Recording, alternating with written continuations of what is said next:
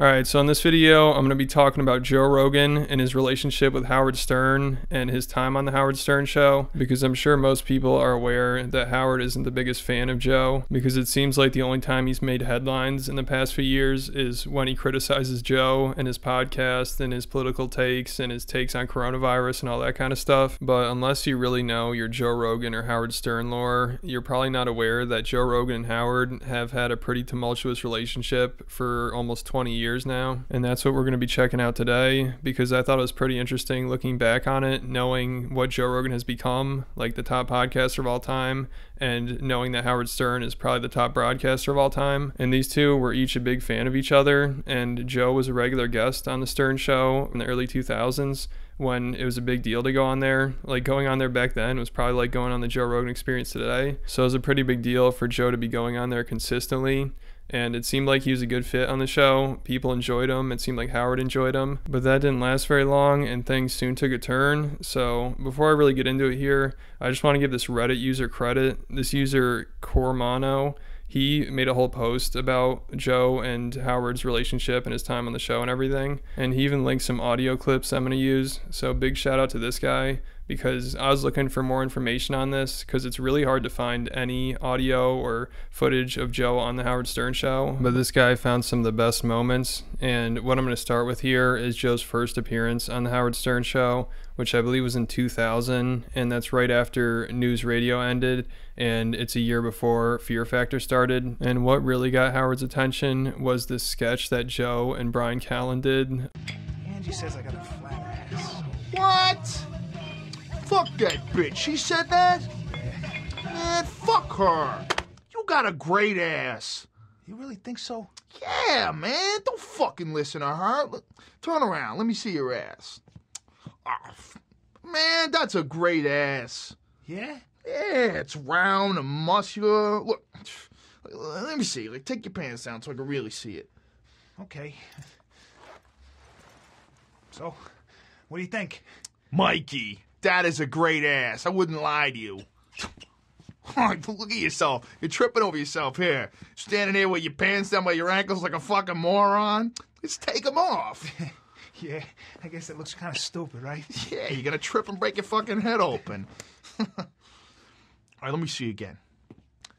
I bet I couldn't even fit my in your ass. That's how muscular it is. Ah, come on. I'm serious. Look, look. I'm actually not totally sure that that was a sketch. That might have just been a reality right there. And of course, Howard joked about that when Joe went on the show. But like I said, this was a big moment for Joe because the Howard Stern show was insanely popular. This was when it was close to its peak.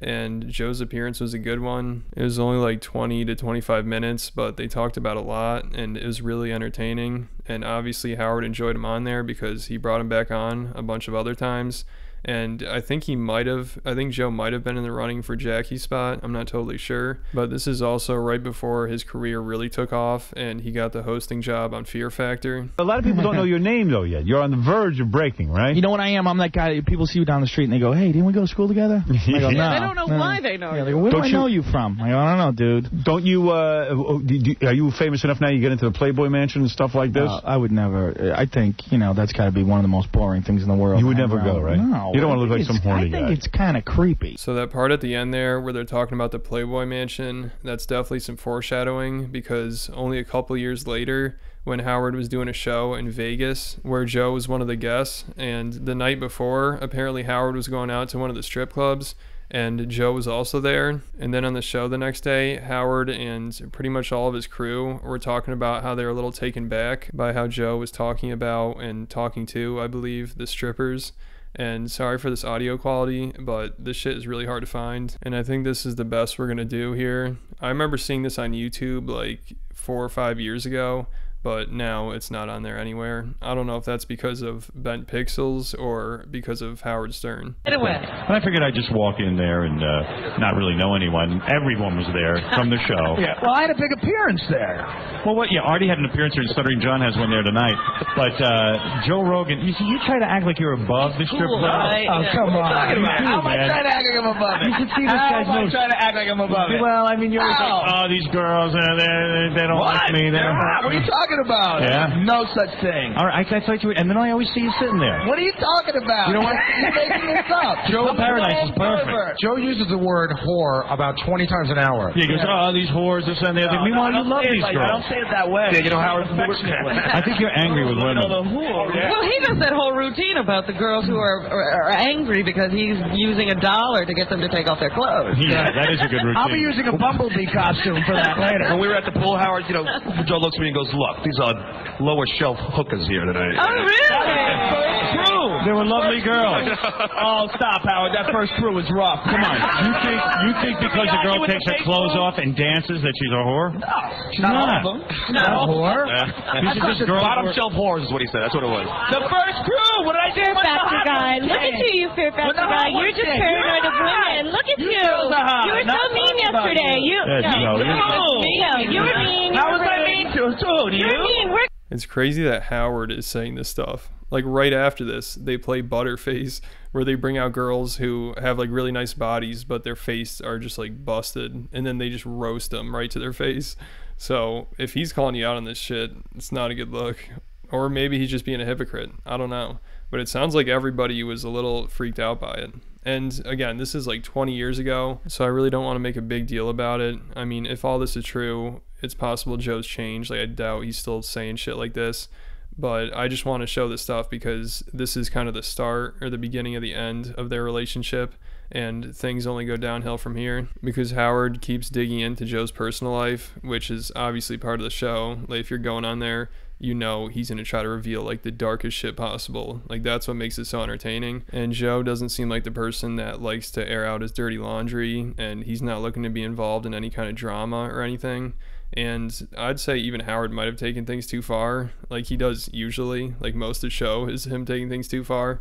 And as you'll see later on, he never really lets the stripper thing go. So that was like the real catalyst all this other stuff, I'm sure this just added to it. Like on one of the shows, when Joe was sitting in, Howard brought in Joe's ex, who was a girl that was on Survivor, I believe, and she might be an actress or something too. And she revealed that Joe cheated on her. Those are old times, and I've forgiven him for hurting So, me. isn't it? Well, How did he hurt you? Did he cheat on you? He did. Yeah. Joe! Oh, Joe. Way to go. What is your problem? Did you think you had an exclusive relationship with him at the time This cheated? is on the radio for the world. I did. You did.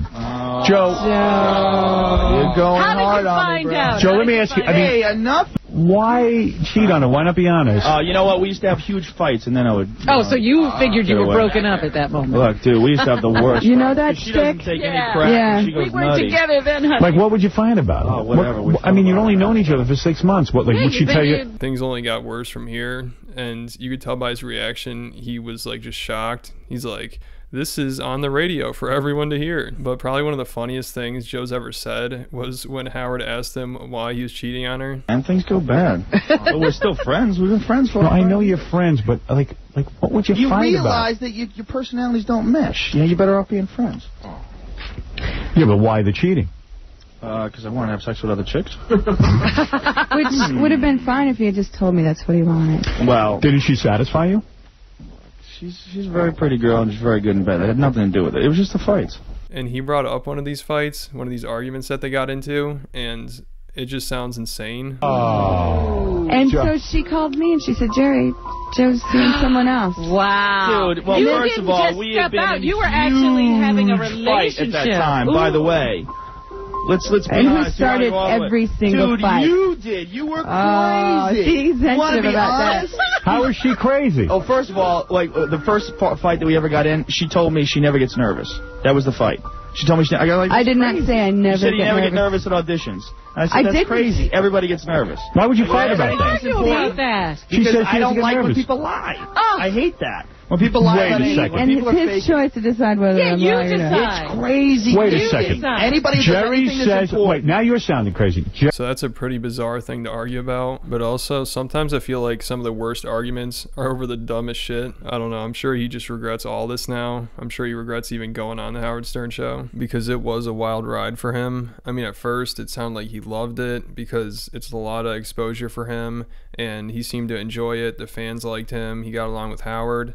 But then it just slowly started turning into a nightmare, and things just kept getting worse and worse. It just seemed like Howard loved embarrassing Joe. And I mean, that's usually how the show works. He just brings in somebody and digs into their personal life as much as possible. But he really did Joe dirty with this one. I can't believe he pulled this off. I don't know how he did it. Apparently, when Joe was on there, he had some girl in the waiting room, and she's supposed to go on the show to play Stump the Booey, which is a music trivia game with Baba Booey. And while she was in there, she said she had a one night stand with Joe Rogan. So they brought her in to talk about it, and this is what she had to say. When did you meet Joe? It's like at least seven years ago, right? Yeah, it was about six years ago. Where'd 1997. He was my first one night stand. You're kidding. No, No kidding. nope. It wasn't really a one night stand. It was like uh, a trailer. No, it was um, trailer. trailer. Trailer. Where did you meet? Where did you guys meet? Um, That, by the way, you were Joe's 350th one night stand. uh, that, that's fine. I learned a lot. Where from did you meet Joe? Uh, comedy store. You learned a lot from me? Yeah. That's sweet. Um, that actually, I'm, I'm here to. I'm gonna, I'm going to thank you in the end, of course. But um, yeah. So what did you learn that- from Joe? Um, well, after that wonderful one night stand, I got pregnant, and I. what? Yeah. What? And and the thing about it is, is you have to understand. What?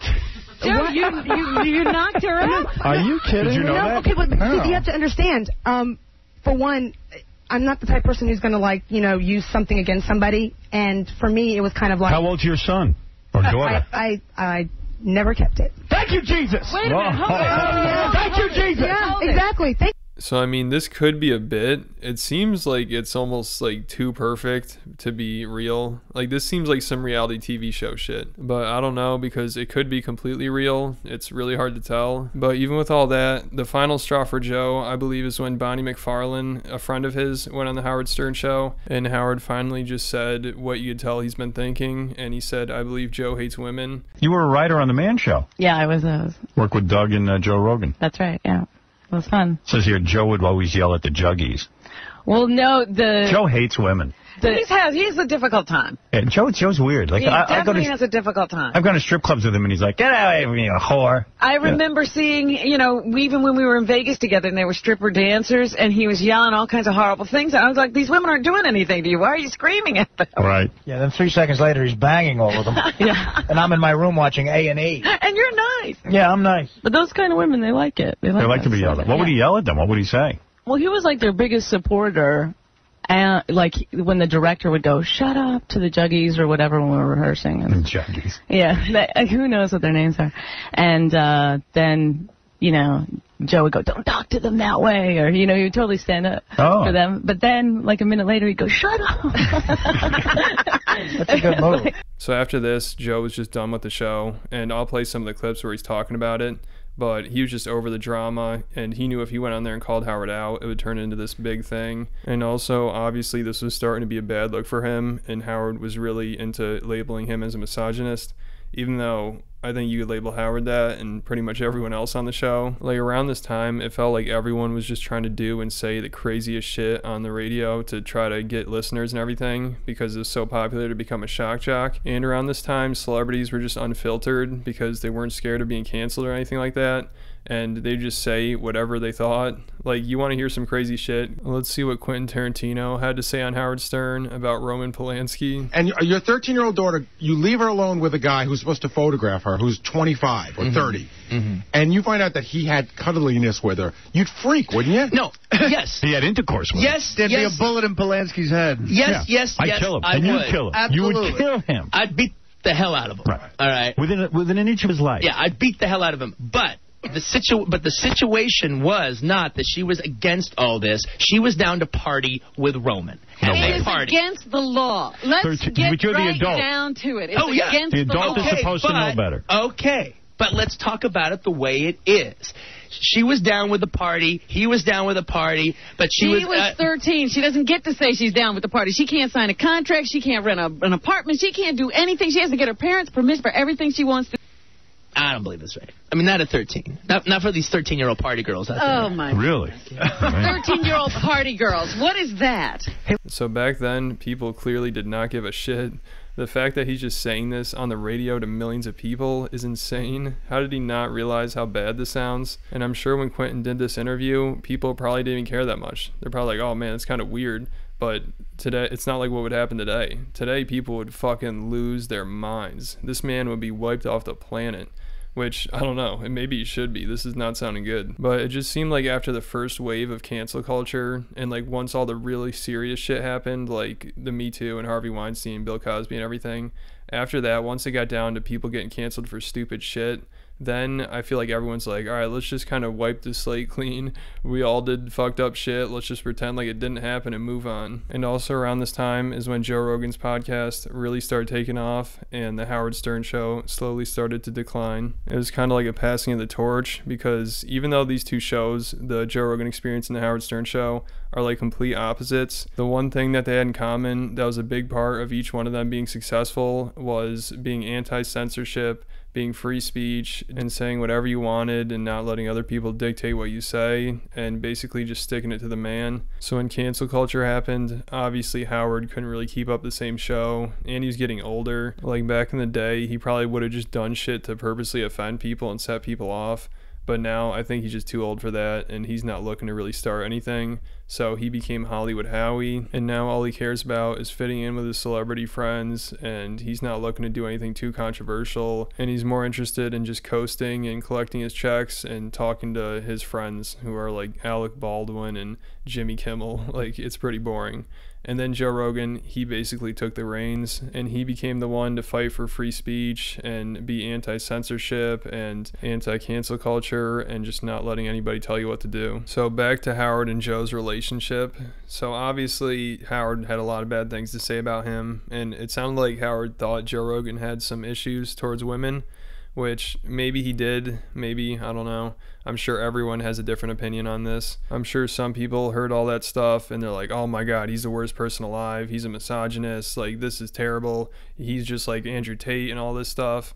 And then other people probably heard that and they're like, oh, it's not so bad. Like, every guy's gone through stuff like this. So now I'm going to get to the clips after their whole falling out and after Howard realized that Joe doesn't want to be on the show anymore and Joe's talked about all the drama and everything because it did seem like Howard kind of felt bad and he realized maybe he wasn't being fair to Joe and he's trying to make him look like a bad guy too much and maybe he got carried away with the whole stripper thing. Like here's Howard reacting to Joe talking about why he doesn't go on the show anymore. I kind of explained it last time I was here, but I, I just tried to avoid drama.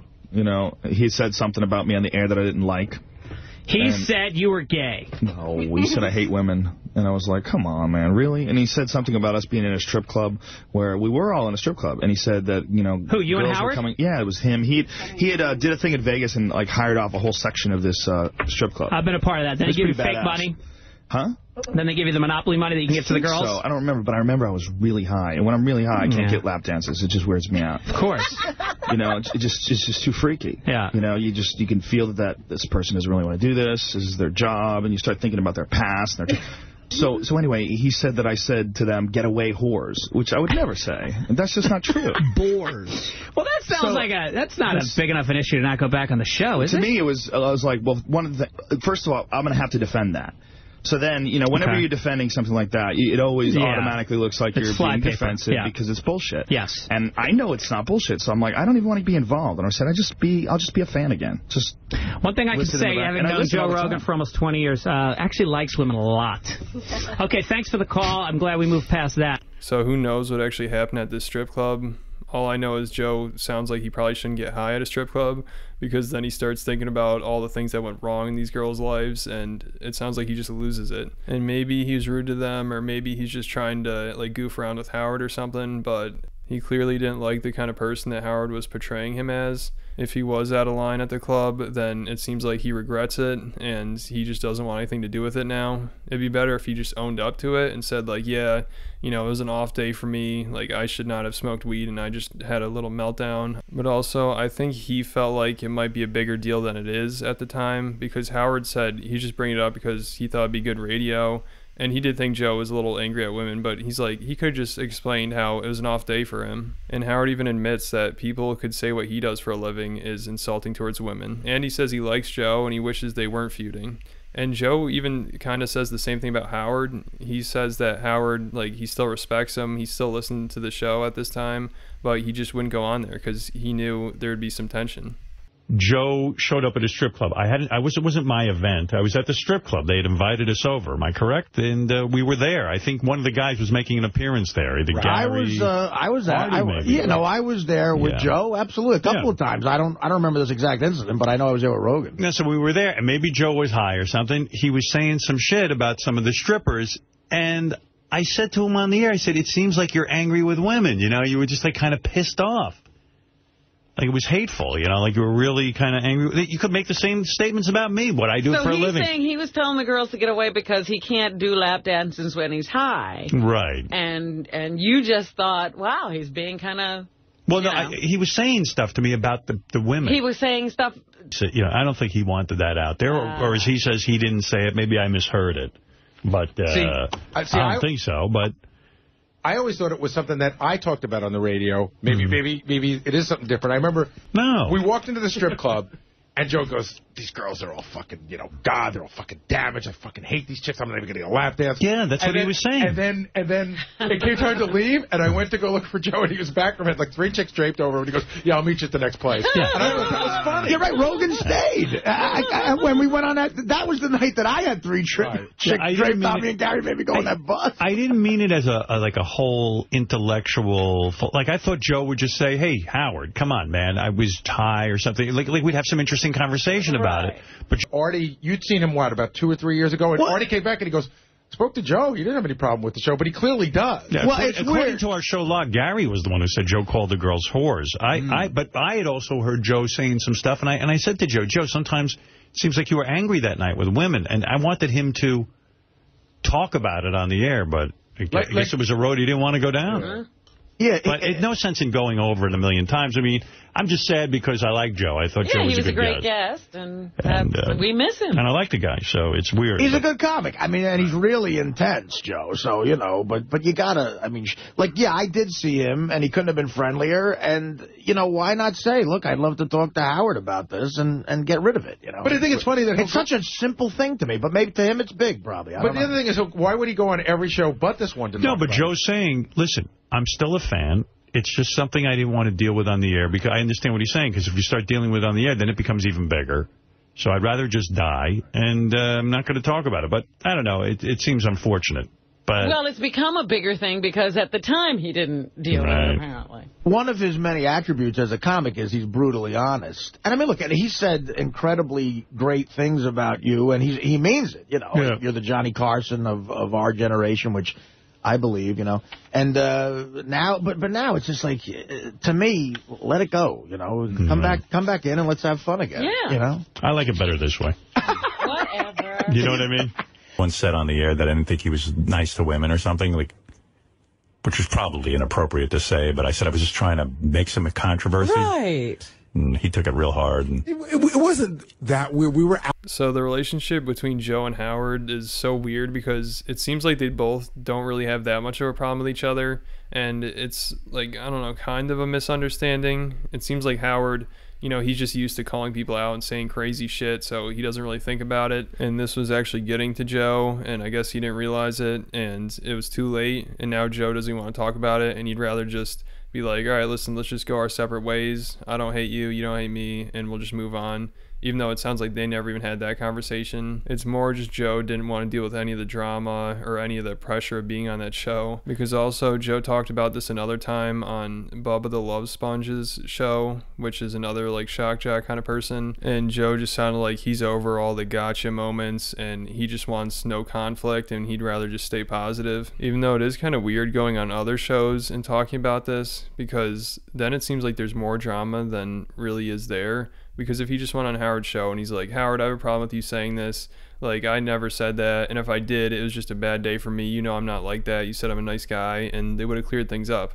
So it's weird that Joe does this like all kind of behind his back, but also he is right. It could have turned into something bigger, possibly. Like if Howard was like, "No, you said that stuff. I think you're an asshole towards women," even though he did say that he likes Joe and everything, he doesn't have a problem with him. So who knows what would have happened? Maybe one day we'll see these two together. You know, if Howard or Gary or whoever got a hold of you, would you would you want to go on and, and, and clear that up? It's not. if you were in New York, clear up. What's okay, the point? I'm just You know, asking though. I mean, because you know they they uh, I mean, they want you. he's. uh, I mean, I don't know what anyone can say. I mean, what what is it? It, it just it, there's a. I don't like negativity. I All don't right. like. I don't like conflict. You know, it's not interesting to me. But I- you're a gr- but you're a great guest. What you know? What if they said, okay, let's move on past that? You got a lot of shit to say, and we got a lot of questions to ask you. Well, you know, I would do it. I mean, I, I'm not opposed to doing it. I didn't. I honestly did not think that anyone was going to notice Well, that they I wasn't have doing it. They have noticed, my friend. They, they made a big big deal about you're- it. you're an I interesting, talented, funny deal. guest, so they're going to notice. Like if you didn't matter, From your big time superstar. Now, But, come on. Well, my the way I was looking at it was like, look, if I'm misrepresenting myself, it's one of two things. Either he doesn't care about me and he's just saying those things because he, you know, just trying to stir controversy. He doesn't care about you know anyone's reputation or whatever. Or I really come off that way, and I'm like, well, if I really come off that way, there's something wrong with me. You know, I mean, I, I um, if I represent misrepresent myself so badly, you know, I think there's like, especially when Stuttering John was on the show, there was like a, a whole gotcha mentality over there. No, that's very Like- true. because like that was when the first time I, I felt uncomfortable on the show. Like uh, I was on and, and uh, John came up to uh, got on the microphone once and said, "I, I, I, I was talking to Joe." You know, he's like, "Oh, look at all these whores." You know, and, which is true. I did say that because there was a bunch. He they had this outdoor party by the pool, and there was all these chicks there. And they're all in bikinis. I'm like, "Oh, look at all the whores!" You said but it I in, like, said it like way. that. Like, yeah. I like, oh my goodness, look at all the whores. You know, and by, by the way, some of them were prostitutes. You know, you know why I know? Because my friend Larry paid them for sex. All right, and he pointed it out. So when I said look at all the whores, it, I wasn't really talking out of school. Like I like how Brent, the guy next to Joe right here, he's like, yeah, they do have the gotcha mentality because he ends up joining the Howard Stern show and he has to deal with that big time and he like just loses it. I made a whole video about him. You should watch that. I'll put it at the end of this video. It's a wild story. So before I wrap it up here, I just want to play one more clip because this is probably one of the more recent times where Howard's talked about Joe. One of the fans call in and ask him if he'll ever do the show again, and Howard this time he just says that he said something to Joe off air that upset Joe, which I think maybe Howard's saying that now because he just doesn't want to bring it up again. Like he's doing it out of respect for Joe, possibly. But also, maybe this is something new, and he did say something Joe off air that really upset him. I don't know. I mean, all this is like speculation at this point, but let's check it out. Uh, I used to have Joe Rogan on all the time. Joe is uh, angry with me. I would have Joe Rogan on. all these years I've, I've wanted Joe Rogan on. I like Joe, but he has a problem with me, and I know why. It's I said something to him in private uh, that that uh, when we when we knew each other, and he was insulted by what I said, which I didn't want. I didn't mean it as an insult. I meant it just as an observation. I thought it was maybe something we could talk about, but whatever it is, there's there's um, I don't even know if he has dislike or something from me. I don't know, but uh, no, I, I won't be having him on. But that's not my that's not my idea. That's his. I like Joe though. I like when he did the um, where the people ate weird shit. So that's pretty much the saga between the greatest podcast host of all time and the greatest radio host of all time. Well, there actually are a few other things I could have talked about, like Howard's opinion on podcasts and Howard's beef with Ari Shaffir, which is pretty good, but maybe I'll just make that a separate video because this video is going way too long. So that's about it for this one. I'm sure people are going to have a lot to say about this. Let me know what you think in the comments. Then hit the like button, then hit the subscribe button, and I'll catch you at the next video.